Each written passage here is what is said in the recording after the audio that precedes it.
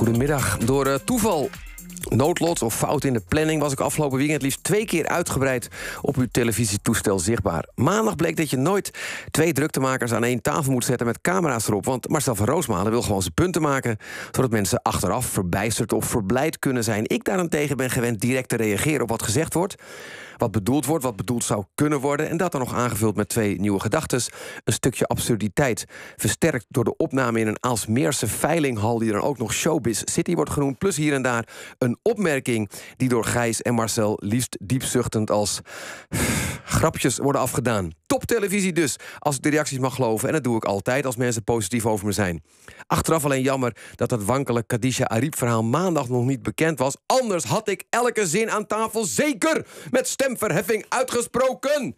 Dag eerder was het ook al primetime NPO 3. Dat klinkt inderdaad een beetje als kampioenswedstrijd van Ajax... waar mijn magere kopie werd vertoond. Kiespijn probeert in vijf afleveringen de zwevende kiezer nog wanhopiger te maken. Door een rechtsteam tegen een linksteam te laten spelen. Met politieke vragen, vage krantenkoppen en beeldmanipulaties. Waardoor Dylan Jezilgus Zegerius, die bij mij thuis de vrouw met meer lettergrepen dan inhoud wordt genoemd, verandert in Jeroen Pauw of andersom. Zodat u, zwevende kiezer, aansluitend zeker weet dat de Partij voor de Dieren inhoudelijk het sterkst is. Zoiets. Maar het gaat mij om het begin van die uitzending. Het volk was ook uitgenodigd. Een tribune, uh, tribune vol dwarsdoorsnee van gewone, hardwerkende Nederlanders... die klaarblijkelijk de tijd hadden ruim twee uur in een tv-studio door te brengen... terwijl Diederik Ebbingen worstelde met te lange zin op de autocue. Het volk was gepeild. En de eerste vraag was wie van de gasten in het programma... ze het liefst als minister-president zouden zien. Ik geloof dat het woord vertrouwen ook nog in de vraag zat. Mijn portret werd beeldvullend. Ik won. Ik moest het gaan doen, uitroepteken. Oké, de tegenkandidaten waren onder meer een VVD'er van wanneer die nu shownieuws duidt en een vrouw met lesbische koortsdromen. Maar toch, ik voelde opeens druk. Ik voelde verantwoordelijkheid. Ik kon mijn kiezers, mijn volk, niet in de steek laten. En begreep ook al vrij snel daarna hoe meer dan fucking ingewikkeld politiek is, politiek leiderschap is.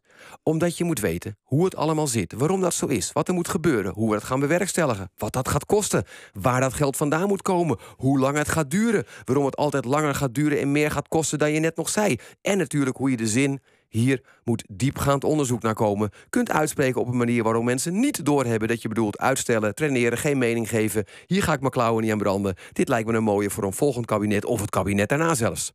Sla een willekeurige krant open en probeer oprecht te vinden wat je ervan vindt. Is het goed dat embryo's niet 14, maar 28 dagen na de bevruchting nog gebruikt kunnen worden voor medische wetenschap? En wat vindt die embryo ervan?